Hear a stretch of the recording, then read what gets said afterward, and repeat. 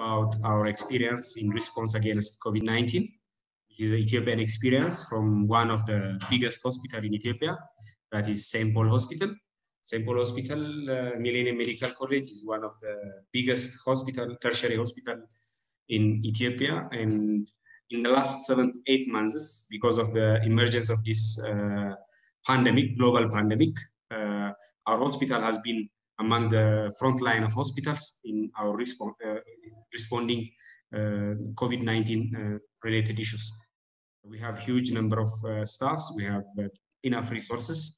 So we wanted to use the service integration model. So I wanted this as a very good experience uh, to share to the world because integrating COVID and also continuing non-COVID care is not common during emergency in uh, tertiary care centers. We have built a makeshift hospital or field hospital in other place in the center of the city.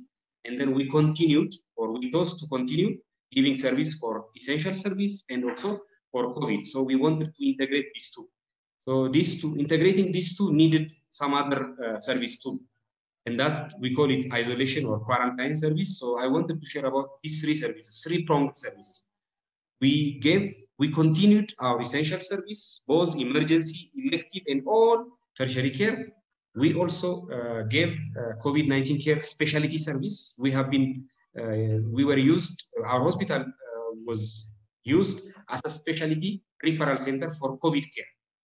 And then in between these two, because COVID pandemic has its own um, emergencies, it, it has its own new things that we don't know.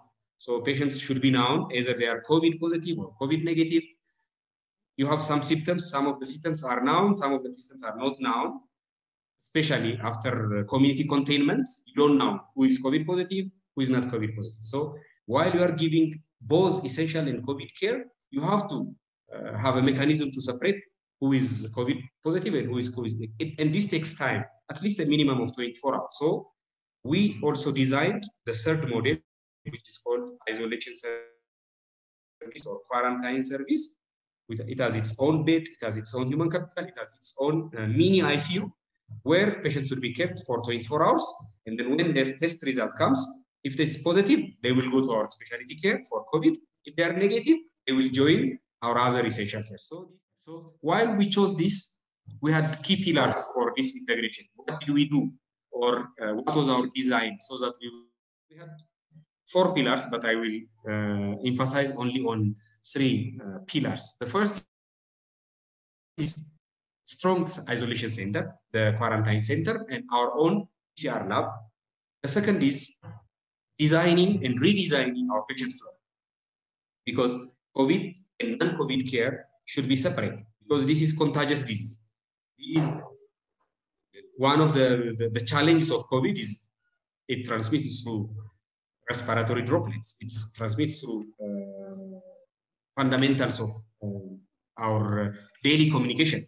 So we have to redesign our patient flow, our staff flow, because those going to COVID, the patients and their staffs should have their separate flow, and then those patients coming for non-COVID care and uh, our staffs giving care for uh, non-COVID should have a separate flow. So that is the second.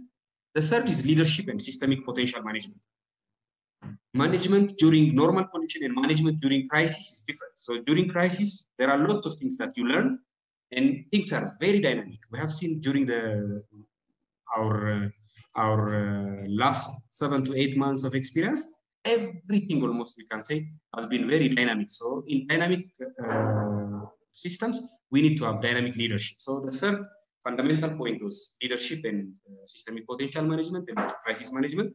The fourth is about our staff rotation and training. So these are the three key pillars.